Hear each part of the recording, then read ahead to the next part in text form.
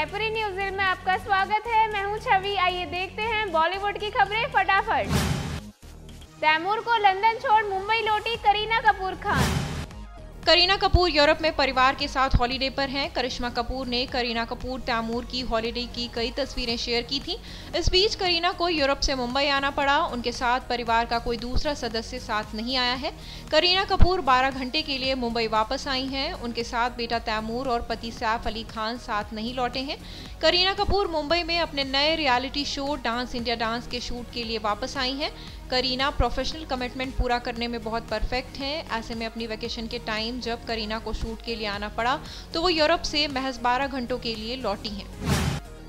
GMA 2019 में छाया दीपिका पादुकोण का green outfit Deepika Padukone इस समय न्यूयॉर्क और मुंबई के अलग अलग इवेंट्स का हिस्सा बन रही हैं। बुधवार शाम दीपिका पादुकोण मुंबई में हुए क्राजिया मिलेनियल अवार्ड्स 2019 में पहुँची।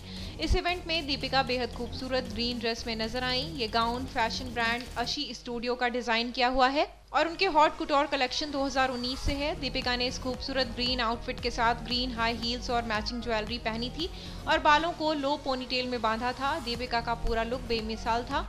अपने इस लुक को इंस्टाग्राम पर शेयर करते हुए दीपिका ने लिखा, विश्व पर्यावरण दिवस के लिए बस थोड़ा ही लेट हूँ।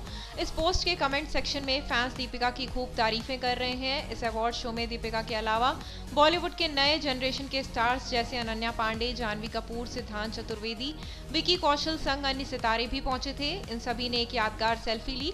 दीपिका के अलावा जीएमए 2019 में जानवी कपूर भी पहुँची थी। अपने पिंक पैंट सूट में जानवी कपूर ग्लैमरस लग रही थी।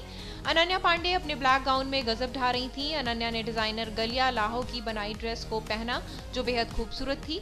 विकी कौशल इस अवार्ड शो में लाइट ग्रीन सूट में नज़र आए। विकी का ये स्टाइल कमाल का था। फ़िल्म कबीर सिंह की स्क्रीनिंग में शामिल हुए Bollywood stars film Kabir Singh release हो गई है। रिलीज़ से पहले फ़िल्म की खास स्क्रीनिंग की गई, जिसमें शाहिद के पिता, भाई, पत्नी के साथ बॉलीवुड के भी कई सितारे पहुँचे। अनिल कपूर इस अंदाज में पहुँचे, उन्होंने वहाँ पोस्ट भी दिए। शाहिद कपूर की पत्नी सफ़ेद ड्रेस में स्क्रीनिंग में पहुँची। आदित्य पंचोली अपनी पत्नी जरीना वहाब के साथ पहुँचे। फ़िल्म की स्क्रीनिंग में पिता पंकज कपूर भी पहुँचे। उनके साथ शाहिद की बहन सना कपूर भी नज़र आई। शाहिद कपूर और कियारा आडवाणी ने अपनी फ़िल्म की स्क्रीनिंग में पोस्ट भी दिए। दिग्गज अभिनेता जावेद जाफरी भी पहुँचे। प्रनूतन बहल भी इस स्क्रीनिंग में पहुँची। नोरा फतेही इस अंदाज में फ़िल्म देखने पहुँची। अपार शक्ति खुराना भी इस स्क्रीनिंग में नज़र आए। आइटम नंबर के टैग को लेकर खान की ट्रिगड़ी पर भड़की कृति सैनन।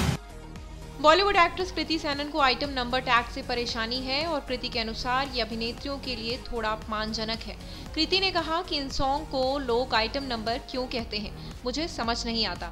ये अच्छी वाइब्स नहीं देता है। ये सिर्फ़ डांस नंबर्स हैं जो फ़िल्म के एंटरटेनमेंट फैक्टर के चलते फ़िल्मों में होता है और इन सॉन्ग्स को ऑडियंस पसंद करती है। तो क्यों नहीं इन सॉन्ग्स की तरफ़ थोड़ा बेहतर नज़रिया अपनाया जाए और ऐसे लोगों के प्रति भी पॉजिटिव रवैया दिखाएँ जो इन गानों को बना रहे हैं? जब आमिर सर शाहरुख सर और सलमान सर फ़िल्मों में स्पेशल परफॉर्मेंस देते हैं तो उन्हें आइटम नंबर नहीं कहा जाता। तो फिर लड़कियों के मामले में ऐसा क्यों है? इस तरह के माइंडसेट में बदलाव की ज़रूरत है। ये है टाइगर श्रॉफ की फ़िल्मों का secret success Bollywood actor Tiger Shroff ने अपने करियर की शुरुआत फ़िल्म हीरो पंती से की थी। टाइगर श्रॉफ ने अपने पाँच साल के करियर में कुल छह फ़िल्में की और तकरीबन सभी फ़िल्में बॉक्स ऑफ़िस पर ठीक ठाक कमाई करने में कामयाब रहीं। टाइगर श्रॉफ की फ़िल्मों को एक्टिंग के चलते कभी खास सराहना नहीं मिलती है।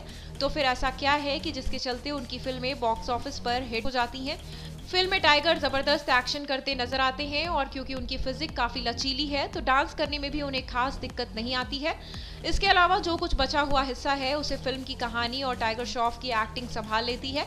Heropanti, Baaghi, Munna Michael, Baaghi two, student of the year two, ये सारी की सारी फ़िल्में टाइगर इसी फॉर्मूले के आधार पर बॉक्स ऑफ़िस पर चला पाने या कलेक्शन निकाल पाने में कामयाब रहे हैं। शूटिंग के दौरान सेट पर गुंडों ने किया हमला बार बार बची एक्ट्रेस। माही गिल अपनी पहली वेब सीरीज़ फिक्सर के सेट पर क्लाइमैक्स की शूटिंग कर रही थी। घटना शाम लगभग साढ़े चार बजे की है। शूटिंग के दौरान जब हमला हुआ तो उस वक्त माही गिल के अलावा शो में अभिनय कर रहे तिग्मांशु धूलिया, टीवी अभिनेता शब्बीर अहलूवालिया भी मौजूद थे। लोकेशन पर घुसकर उत्पाद मचाने वालों के हाथों में रॉड और डंडे थे। लोकेशन पर शूटिंग की परमिशन न होने का हवाला देकर इन चारों गुंडों ने वहाँ कई लोगों को पीटा। हमले में वेब सीरीज़ के डीओपी संतोष थुड़ियाल के सिर पर गंभीर चोटें आई। Soham Shah web series Fixer के निर्देशक हैं, उन्हें भी बुरी तरह से मारा पीटा गया। इसके अलावा अभिनेत्री माही गिल के ड्राइवर कम बॉडीगार्ड को भी खूब मारा पीटा गया। माही गिल ने कहा, सेट पर अचानक हुए हमले से हम सभी हड़बड़ा से गए थे, एक गुंडा मेरी तरफ़ भी दौड़ा, मगर सेट पर किसी ने ज़ोर से लेडीज़ लेडीज़ की आवाज़ लगाई और फिर वो गुंडा किसी और तरफ़ मुड़ गया, वरना जाने मेरा क्या होता? अनुपम खेर ने याद किया दिलीप कुमार का स्टारडम मशहूर अभिनेता अनुपम खेर अपने करियर के शुरुआती दौर की दमदार फ़िल्म कर्मा के दौर को याद करके इमोशनल नज़र आ रहे हैं। फ़िल्म कर्मा के सेट पर दिग्गज अभिनेता दिलीप कुमार संग शूटिंग की बातों को याद किया। अनुपम ने साल उन्नीस सौ छियासी में आई फ़िल्म कर्मा के एक चित्र को शेयर किया। इस तस्वीर के कैप्शन में अनुपम खेर ने लिखा, डॉक्टर डैंग के साथ राणा विश्व प्रताप सिंह की मशहूर मुलाकात। सुभाष घई की मशहूर कृति कर्मा के शूटिंग का ये मेरा पहला दिन था। मैं वास्तविक महान कलाकार दिलीप कुमार संग एक ही फ्रेम में होने के लिए काफ़ी भयभीत, घबराया हुआ और उत्साहित था। अनुपम खेर ने लिखा, उन्होंने कहा, रिलैक्स, ये महज एक्टिंग है। हालाँकि इससे मैं सहज नहीं हुआ, लेकिन शॉट के बाद जब उन्होंने मेरी पीठ थपथपाई, तब मुझे लगा कि मेरा समय आ गया है। दिलीप साहब जैसा ना कोई है और ना कोई होगा, वो भारत में अब तक के सबसे बेहतरीन अभिनेता हैं। दुल्हन बनी टीएमसी सांसद नुसरत जहाँ। एक्ट्रेस से सांसद बनी नुसरत जहाँ ने कोलकाता के बिजनेसमैन निखिल जैन से शादी कर ली है। कपिल ने सोशल मीडिया पर दूल्हा दुल्हन के लुक में पहली तस्वीर शेयर की है। रेड कलर के लहंगे में नुसरत बेहद खूबसूरत लग रही हैं। दुल्हन के जोड़े में नुसरत की पहली तस्वीर है, जिसे खूब शेयर किया जा रहा है। वहीं Nikhil Jain off white colour की शेरवानी में काफ़ी हैंडसम लग रहे हैं, जिसे खूब शेयर किया जा रहा है। हल्दी सेरेमनी की इस तस्वीर में नुसरत जहाँ भावुक नज़र आ रही हैं। ये फ़ोटो नुसरत ने फादर्स डे के दिन शेयर की थी। तस्वीर में नुसरत पिता के गले लगकर रोती हुई दिख रही हैं। नुसरत जहाँ की शादी करीबी दोस्तों और रिश्तेदारों की मौजूदगी में टर्की के बोर्डरम में हुई है। नुसरत के पति निखिल ने इंस्टा पर अपनी कई तस्वीरें शेयर की हैं। मायापुरी न्यूज़ में इतना ही। कुछ देर में फिर हाजिर होंगे बॉलीवुड की तमाम अपडेट के साथ। देखते रहिए मायापुरी कट।